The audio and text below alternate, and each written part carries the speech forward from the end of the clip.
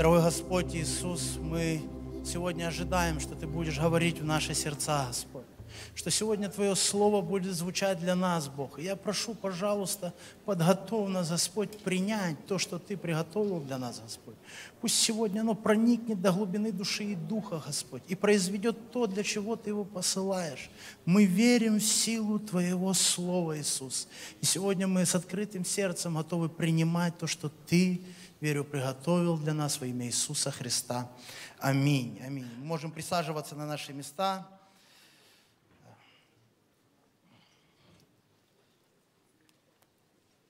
Тема моей проповеди называется так «Фиктивный брак». Как-то, находясь в одной государственной инстанции, я ждал оформления документов, которое занимает небольшой, большой, достаточно большой промежуток времени. Со мной находились такие же люди, которые ожидали этого оформления в очереди. Я познакомился с одним парнем, мы с ним разговаривали на разные темы, и э, в разговоре он сказал о том, что он имеет э, гражданство Германии, что он имеет гражданство Германии. Я у него, естественно, поинтересовался, а как у него получилось это сделать, сделать, как он получил это гражданство. На что, знаете, он так без стеснения сказал мне, говорит, я просто женился на женщине фиктивно для того, чтобы получить гражданство. Э, естественно, знаете, меня, ну как, как христианина это не совсем приемлемо, это неправильный поступок. Знаете, я как-то мягко хотел ему сказать об этом на, ну, так, в такой форме, что это неприемлемо. На что он мне сказал, говорит, я не вижу в этом ничего плохого. Это, говорит, неверующий человек. Я, говорит, не вижу в этом ничего плохого, потому что я, говорит, изначально был честным. Я изначально был честным, я так и планировал. Говорит, гораздо хуже – Говорит, когда создаются браки по любви, а когда любовь проходит, и люди начинают жить по расчету. По расчету, фиктивно, друг для друга, для себя. Знаете, мы с ним разошлись, и когда я уже сел в машину, начал думать, меня эти слова немножко так зацепили. Я думаю, ну глянь, ну действительно же оно может такое быть, что ты сначала, и такое бывает, и такое встречается, что сначала эмоции, чувства, любовь, все готовы заради друг друга – а потом что-то проходит, проходит этот, этот ветерочек такой влюбленности, потухают эмоции, и люди начинают жить для себя, начинают жить ради себя, а уже не ради друг друга. Знаете, когда я об этом думал, Бог начал касаться моего сердца и показывать мне, что в нашей христианской жизни подобные вещи тоже случаются что наше христианство из разряда христианства, основанное на любви к Богу и на Его любви к нам, может с нашей стороны переходить в такое фиктивное христианство. И давайте мы откроем Слово Божье, книга Откровений 2.1.4, написаны такие слова. Ангелу Ефесской церкви напиши, так говорит держащий семь звезд в деснице своей, ходящий посреди семи золотых светильников – Знаю дела твои, и труд твой, и терпение твое, и то, что ты не можешь сносить развратных, и испытал тех, которые называют себя апостолами, а они не таковы. И нашел, что они лжецы. Ты много переносил и имеешь терпение, и для имени моего трудился и не изнемогал. Но имею против тебя то, что ты оставил первую любовь твою. Знаете, Христос дает замечательнейшую характеристику Ефесской церкви. Он хвалит их, потому что те дела, которые они делали для Него, они действительно заслуживали уважения. Они действительно заслуживали внимания. Ефесская церковь занималась служением, она защищала веру, занималась апологетикой. Э, она, она делала много чего. Но один важный момент и одна претензия, которую Бог имеет к этой церкви, она заключается в одном слове – трудился. Христос говорит, что эта церковь делала то, что Он считает важным, хорошим и отличным в прошедшем времени. В прошедшем. Не сейчас. Послушай, для Бога не важно, что ты делал. Хотя Он это замечает, Он на это смотрит. Он оценивает нас не по нашим прошлым поступкам, а потому что мы делаем сейчас, в данный момент. Именно на это он обращает внимание. И он имеет претензию к Ефесской церкви, говоря, что ты оставил прежние дела, а это приравнивается к тому, что ты оставил первую любовь. Твое христианство, говорит Христос Ефесской церкви, стало фиктивным. Оно стало ненастоящим. Нет того важного основания, которое было заложено, это любовь ко мне. И когда она ушла, ушли дела. И церковь перестала ей делать. А когда мы перестаем делать то, что мы должны делать ради Бога, ради Господа, мы начинаем всегда делать что-то ради себя. И Христос, Он имеет претензию. Он говорит, что мне это не нравится. Говорит, что если ты начнешь делать прежние дела, ты вернешься к этой любви. И Он побуждает эту церковь вернуться к прежним делам и выйти из этого состояния фиктивности. Знаете, дорогие братья и сестры, когда я думал об этом, я понял, что в первую очередь в моей жизни бывают некоторые такие фрагменты, когда моя жизнь переходит действительно в какие-то такие фиктивные отношения с Богом, фиктивные отношения в служении, когда оно такое себе, больше может быть сосредоточено на себе, чем на том, кому я должен служить, тому, кому я обязан чем-то. И сегодня мы будем именно говорить об этом. И Библия нам очень хорошо приводит достаточное количество примеров из жизни служителей, э, великих людей, описанных в книге Библии, которые показывают нам, как иногда эти ребята ошибались, но потом восстанавливались и возвращались к прежним делам. И говорить сегодня я хочу э, об одном из учеников, об одном из великих людей Библии, об апостоле Петре, который допускал ошибки в своей жизни. И мы сегодня посмотрим, как это происходило в его жизни, и попробуем взять для себя несколько уроков и проанализировать свою жизнь. И первое, первый пункт моей проповеди звучит так. Имей общение. Имей общение. Любые отношения связаны общением. Чем больше общения в рамках определенных отношений, тем эти отношения становятся крепче.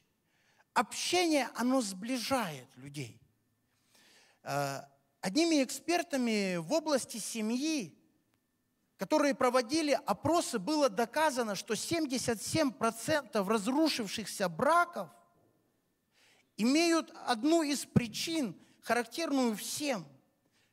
В семье не было общения, не было открытого, честного, искреннего общения. Возможно, оно было формальное, но это было поверхностно. Никто не общался глубоко, никто не говорил на какие-то важные темы, не открывался друг другу. Но те же эксперты доказали, что в 100% счастливых семей, которые живут счастливо, во главе угла стоит, а, скажем, одно из, один из принципов – это общение, которого придерживается каждая семья. Открытое, искреннее, глубокое общение на все темы – и именно это общение, оно, оказывается, сближает эти семьи. Знаете, несколько лет назад в моей жизни был такой период, когда приблизительно 8 суток в месяце я не ночевал дома, потому что я дежурил в нашем реабилитационном центре. Потом еще в месяц несколько раз я ездил по работе за границу, и эта поездка тоже, каждая поездка занимала где-то приблизительно по трое суток. И если считать, то в общей сложности я выбывал на две недели из своей семьи. Я не был дома, я не был рядом с супругой, я не был рядом со своим ребенком, я не имел с ним общения. Не, оно как бы было формальное, по телефону, там, по видеосвязи, но это не было личного общения, это не было время личного провождения.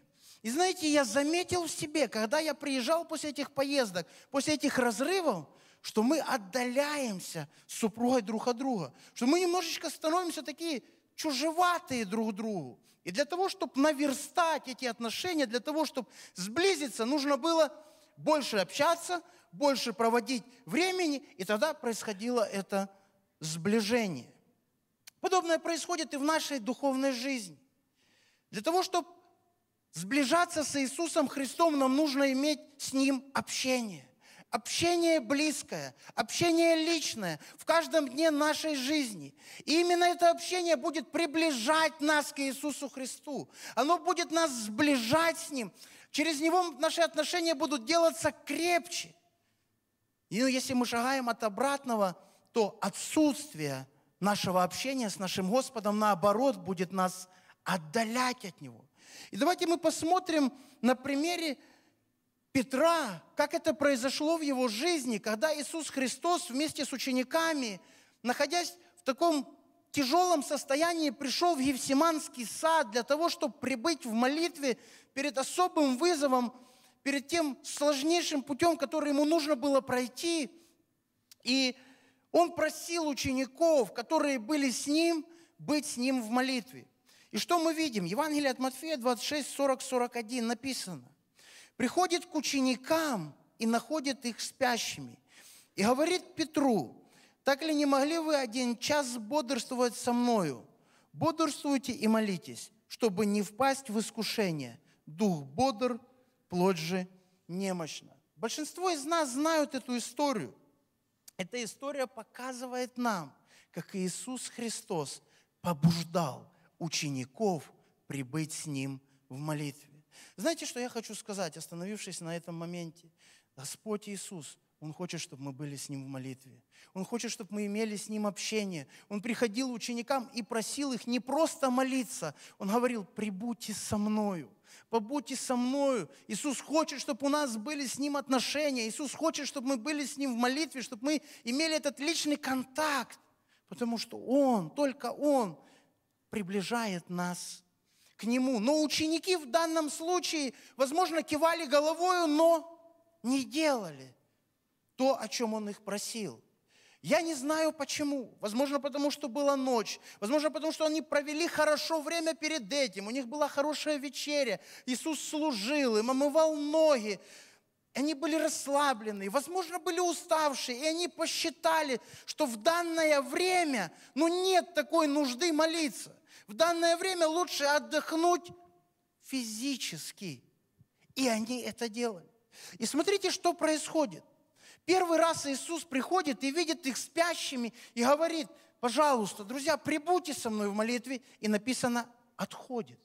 Потом приходит второй раз, и опять, видя их спящими, он опять побуждает их помолиться вместе с ним, прибыть с ним в молитве. Отходя опять назад, они опять ложатся спать. И смотрите, что происходит третий раз. Когда он приходит к ним и видит их спящими, он перестает их беспокоить. Он уже перестает побуждать их к молитве. Вы знаете, когда мы пренебрегаем молитвой, когда мы пренебрегаем общением с Богом по каким-то причинам, какое-то время мы можем чувствовать вот это побуждение, осуждение, что, что да, я не помолился, что мне нужно было прибыть в общении с Христом, но я выбрал какие-то другие дела важнее, которые мне показались, чем молитва. Мы какое-то время можем чувствовать осуждение, потому что Христос приходит вновь и вновь и побуждает нас к молитве. Но когда он не видит какое-то время обратной связи, когда мы не, не реагируем, он может перестать нас беспокоить.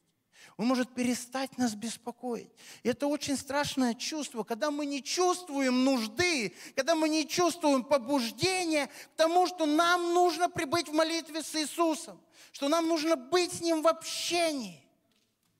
Это ужасное состояние, которое переводит нас из состояния любви состояние формальности или формального христианства, когда мы начинаем жить без Него, не имея с Ним общения.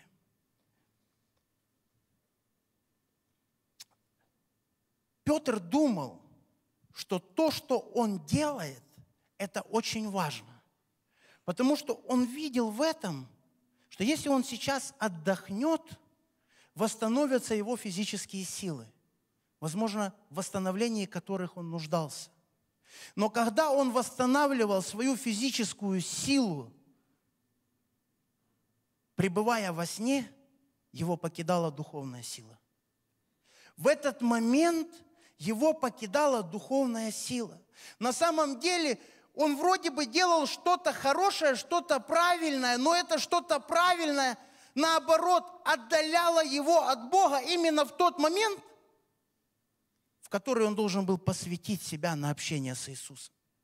То хорошее отдаляло его от Христа.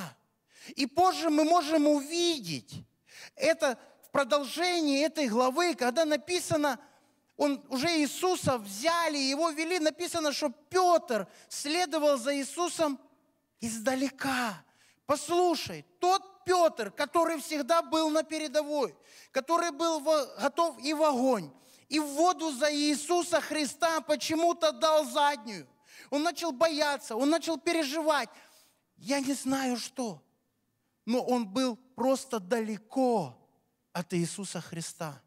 И это отдаление от Иисуса, оно не произошло в момент взятия Иисуса стражами. Это произошло в момент сна, когда он спал, когда время, отведенное для Бога, для того, чтобы быть вместе с Ним, он посвятил на другие дела. Он посвятил на другие дела. А когда Христа взяли, это отступление, это отдаление просто проявилось. Проявилось уже в материальном жизни, в материальной жизни. Но сначала оно произошло вот тут, в сердце, когда Петр спал. В конце этой мысли хочу, дорогие братья и сестры, сказать нам, что если мы имеем общение с Иисусом, если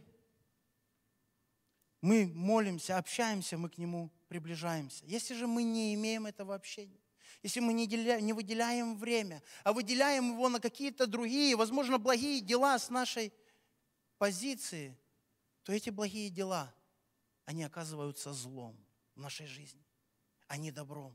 Потому что они отдаляют нас от Иисуса. Давайте сегодня проведем такой анализ своей духовной христианской жизни. А какое я имею сегодня личное общение с моим Иисусом? Посвящаю ли я Ему время? Есть ли у меня постоянное время, когда Он хочет быть со мной, а я хочу быть с Ним?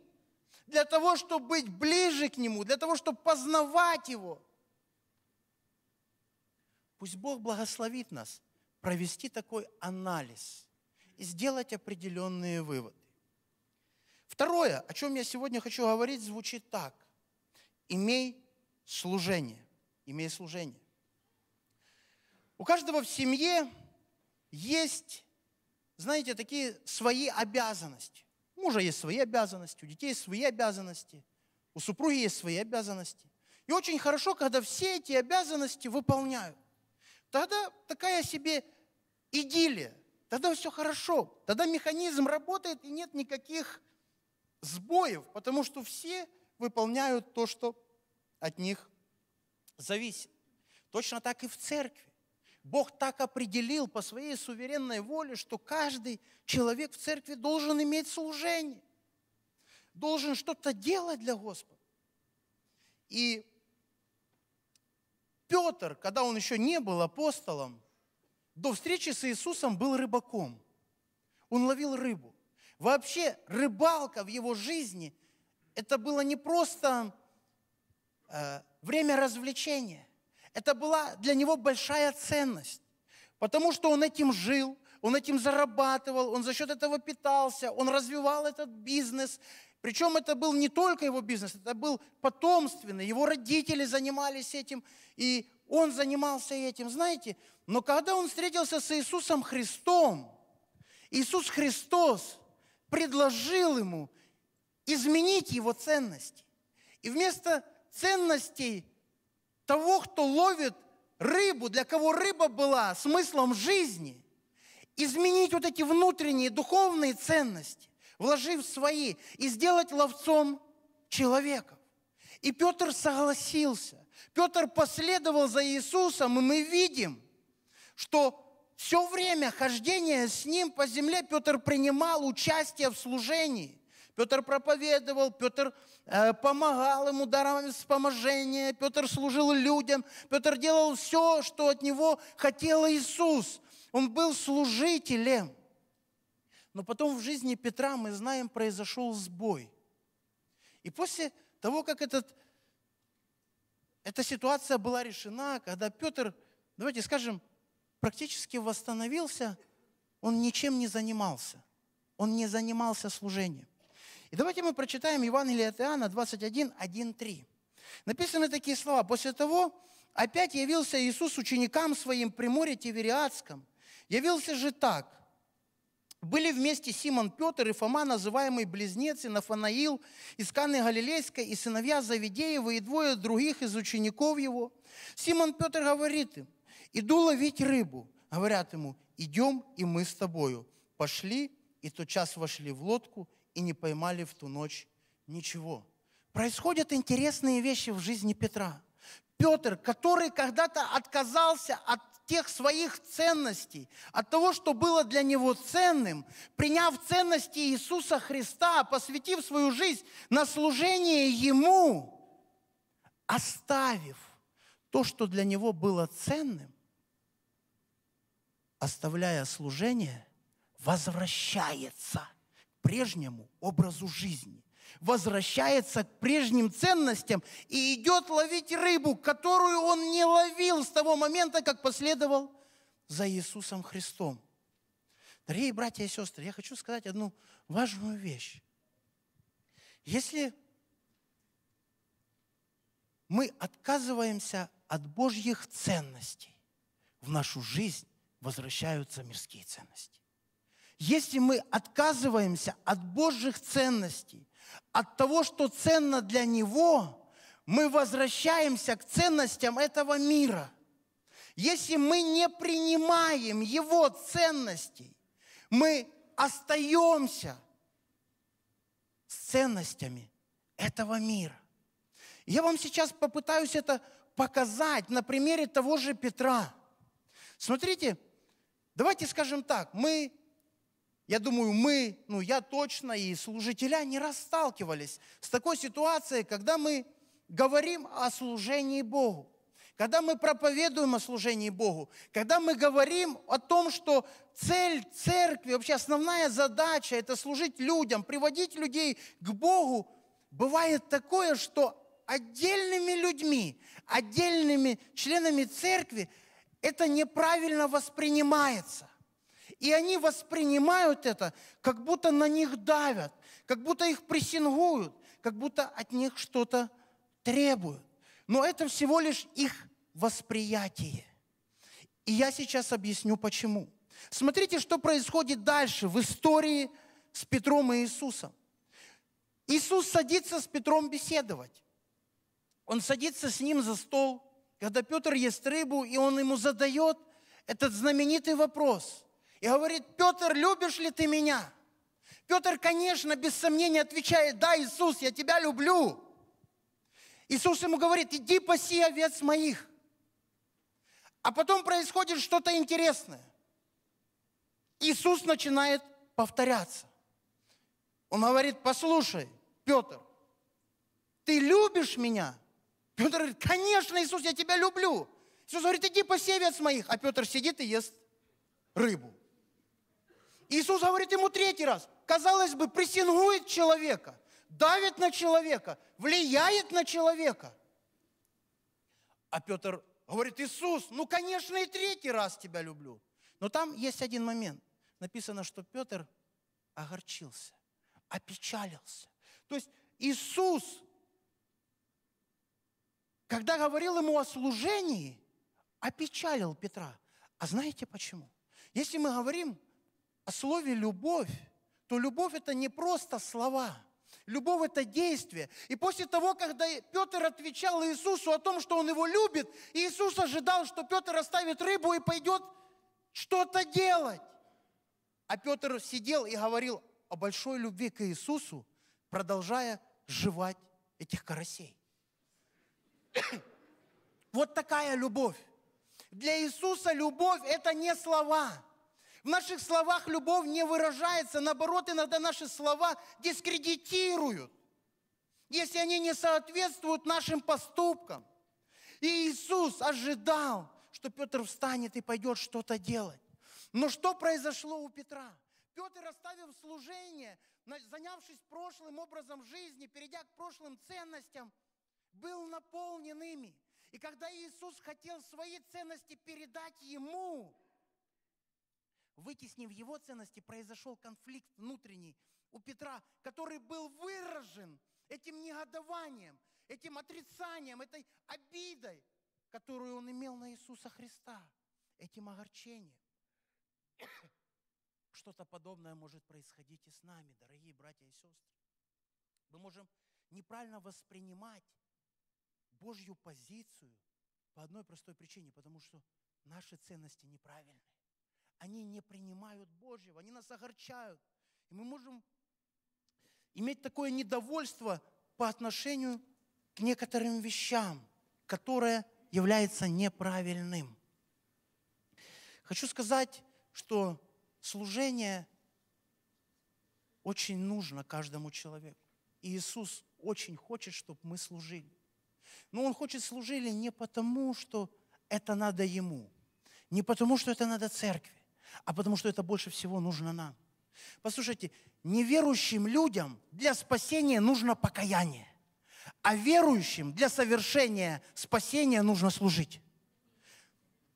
Неверующим людям для спасения нужно покаяние, а верующим для осуществления, на покаянии не, не кончается еще ничего. Нужно осуществлять свое спасение. Так верующим для осуществления своего спасения нужно служение. Евангелие от Иоанна 12:26 написано, «Кто мне служит, мне да последует. И где я, говорит Иисус, там и там, где... А, извините.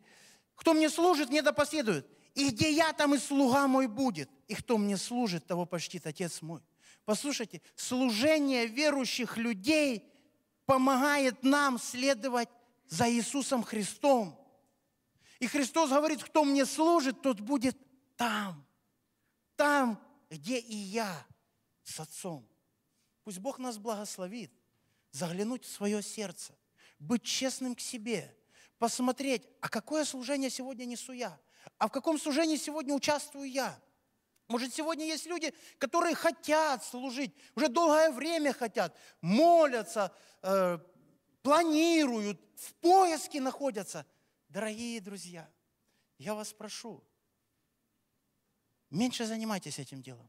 Просто возьмите с сегодняшнего дня и начните делать то, что вам под силу. Вам не надо ждать сверх архиоткровения о служении. Вам просто нужно начать делать то, что нам под силу, то, что может делать рука моя. И если мы будем искренними в своем служении перед Господом, настанет время, когда Бог поставит нас в теле своем на то место, которое Он предназначил только для нас там, где мы будем максимально эффективными, там, где мы будем максимально полезными, будем приносить пользу для Царства Небесного, этим самым следуя за Иисусом Христом. Поэтому, дорогие друзья, нам нужно переставать хотеть, нам нужно начинать делать. И, знаете, завершить этот пункт хотел бы таким стихотворением, которое недавно прислал мне один брат, это бывший зависимый, который с нашей церкви, вот он написал такое интересное стихотворение, которое называется «Я хотел».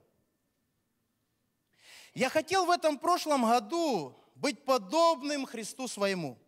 Но когда этот год пролетел, я увидел, что только хотел. Я хотел больше братьев любить, своим ближним любовью служить. Огорчить я немало успел, но любить всех я только хотел. Я хотел всех больных посещать, утешать их, в нужде помогать. Но как мало у них я сидел. Помогать я им только хотел. Я хотел чаще ночью вставать и Иисуса Христа прославлять. Сладкий сон нарушать я не смел. И молиться я только хотел. Я хотел быть примером для всех, чтобы не был во мне виден грех. Но теперь я стыжусь своих дел. Быть примером я только хотел. Всем хотел говорить о Христе на работе, соседям, везде, но молчал и на них я смотрел. Говорить я им только хотел. Благодарным хотел быть всегда за все милости Бога Отца, но роптал и душою черствел. Благодарным быть только хотел. Я хотел, я так много хотел, но так мало, так мало успел. Перед кем оправдаюсь теперь, что я в жизни так много хотел? Мой Спаситель меня оправдал, на кресте за меня Он страдал. О, как жалок бы был мой удел, если бы это Он только хотел. Милосердный Отец, помоги, Новый год у меня впереди. Чтоб не только я это хотел, но исполнить все это сумел. Дорогие братья и сестры, Христос так хочет, так хочет, чтобы мы не просто хотели. Христос хочет, чтобы мы сумели, чтобы мы начали уже сегодня с чего-то малого служить Ему. Пусть Бог благословит нас в этом. И третье, о чем я сегодня хочу говорить, третий пункт моей проповеди звучит так. Имей веру. Имей веру. И мы читаем Матфея 14, 26, 31. И ученики, увидев его, идущего по морю, встревожились и говорили, это призрак, и от страха вскричали. Но Иисус тот час заговорил с ними и сказал, ободритесь, это я, не бойтесь. Петр сказал ему в ответ, Господи, если это ты, повели мне прийти к тебе по воде. Он же сказал, иди.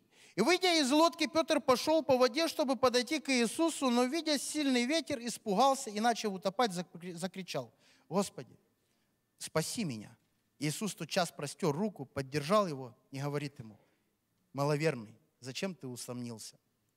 Знаете, когда мы читаем эту историю, в основном мы видим первое глобальнейшее чудо, которое кроме Петра больше никто не делал в Библии. Даже мертвых воскрешали несколько раз разные служителя, которые, и эти истории описаны на страницах Библии, но то, что сделал Петр, не делал никто кроме Иисуса Христа.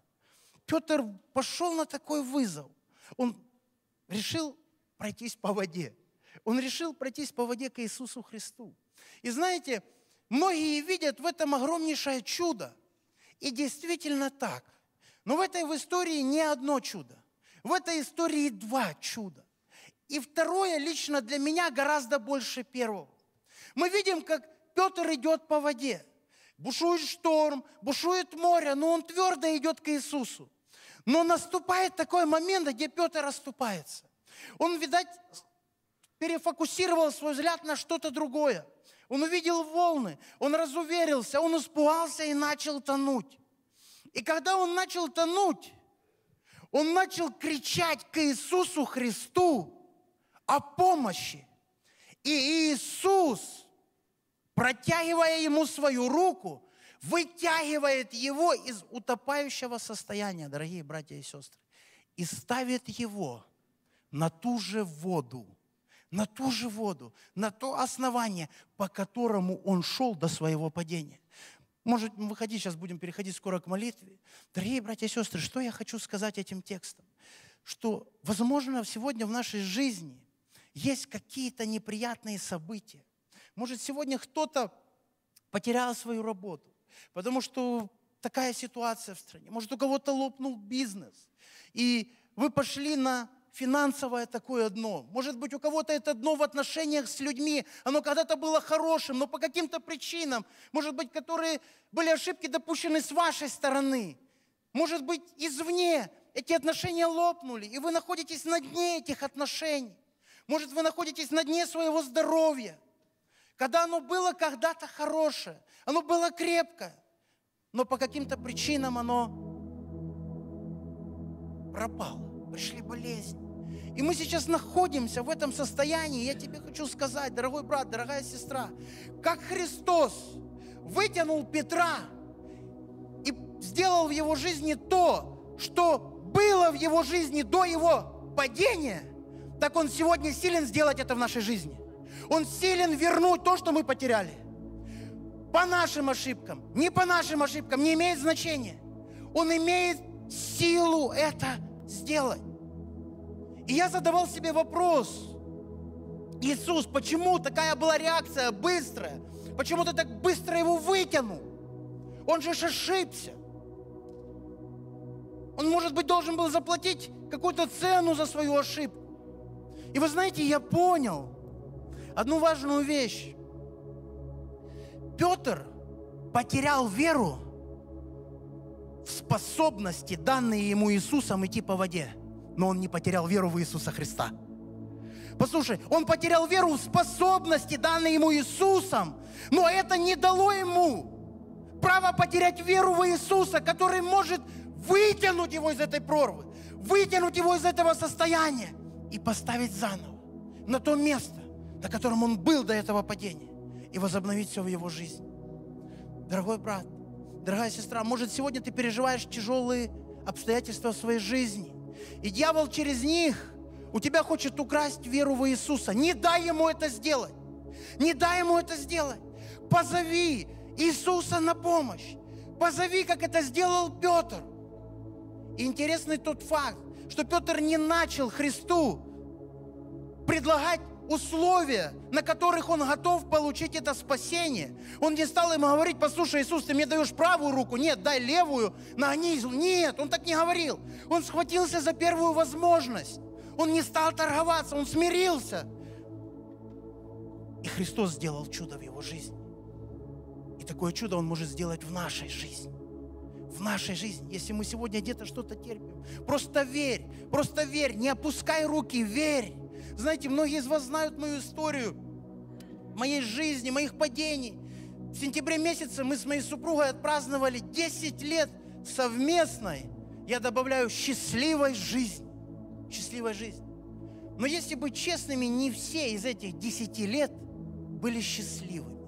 Было время, когда все было хорошо, мы встречались, у нас была свадьба, когда нам было отлично, а потом по причине моих неправильных решений, моего неправильного выбора, я упал в моральный грех. Скатился на самое дно самых аморальнейших поступков, какие только могут прийти на ум человеческий.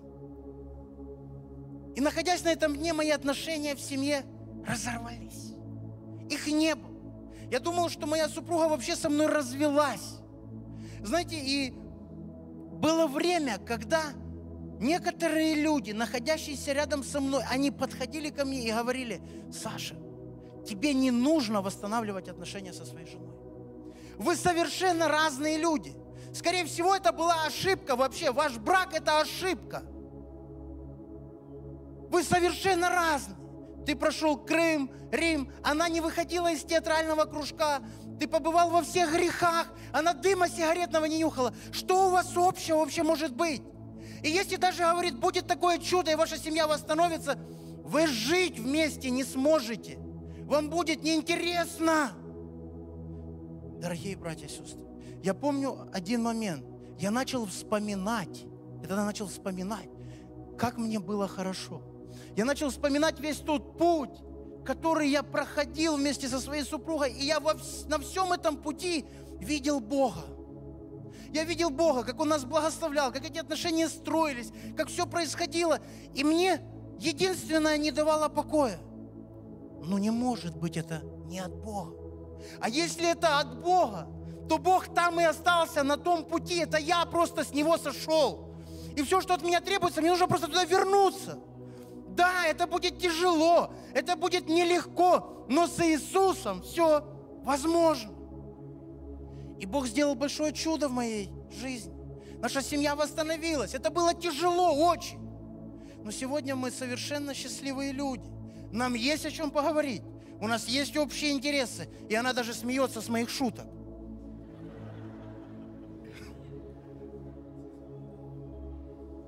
Дорогой друг, Дорогой брат, дорогая сестра, знаешь, может, ты сегодня проходишь, твои руки опускаются. Я хочу сказать, верь, не опускай своих рук. Христос не опустил своих рук ради тебя. Ему было тяжело, возможно, ему не хотелось туда идти, но Он так тебя любил. Он так тебя любил и так тебя любит, что пошел на Голговский крест, заплатил цену своей жизни претерпел мучения для того, чтобы потом ты и я, когда нам будет тяжело, мы могли посмотреть на Него. Мы могли посмотреть на Него и увидеть, что у Него получилось, а значит получится и у нас. Потому что Он даст нам эту благодать. Он даст, и у нас все получится. Пусть Бог нас благословит. Давайте встанем на наши ноги, мы будем молиться сейчас. Сегодня тема моей проповеди называлась так, фиктивный брак. О том, Как брак может быть фиктивным, так может быть фиктивным и наше христианство, наши отношения с нашим Иисусом.